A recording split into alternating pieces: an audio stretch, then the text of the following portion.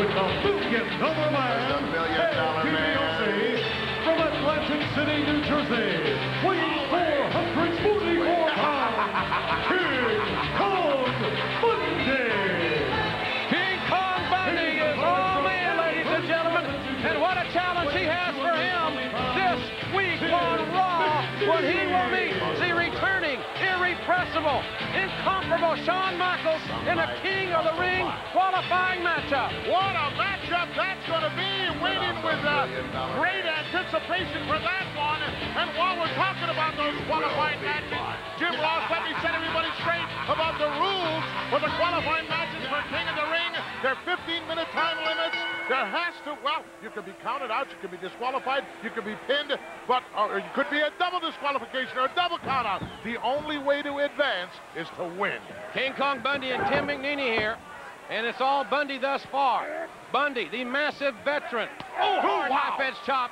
440 pounds. And does he have too much bulk, too much mass and power for the returning Shawn Michaels to handle this week on Raw? As Bundy is manhandling McNeany here, the Million Dollar Corporation Gorilla really on a roll. And we're going to talk more about the Million Dollar Tag Team Challenge that Ted DiBiase made this past Monday afternoon, a little bit later in this week's broadcast. Well, you conducted that interview, Jim Ross. You could hardly get a word in edgewise. And that's uh, that's different for me. I can tell you that as Bundy stomps away.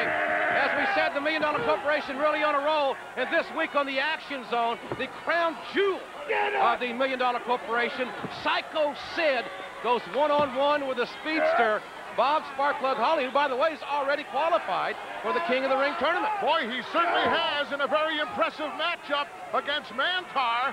Huh, he really did it.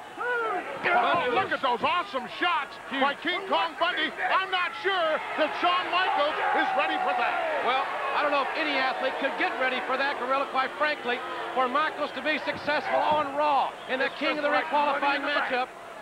Well, it may be like money in the bank. Michaels has got to use that wonderful speed and quickness. He's a very resourceful, one of the most gifted athletes I've ever seen in any athletic field. Uh, this is going to be a great test for Shawn Michaels on Look Raw. out! Oh, my! Oh, but just as we saw right there, Shawn Michaels is going to be giving away close to 200 or over 200 That's it. pounds in that matchup. This one is history. He wants five. He got five himself. King Kong Bundy victorious. And again, we're going to take you back momentarily to Monday afternoon. Well, last Monday afternoon, my colleague Jim Ross, he literally Everybody. couldn't get a word in edgewise as DiBiase had these choice words for Bam Bam. Million dollar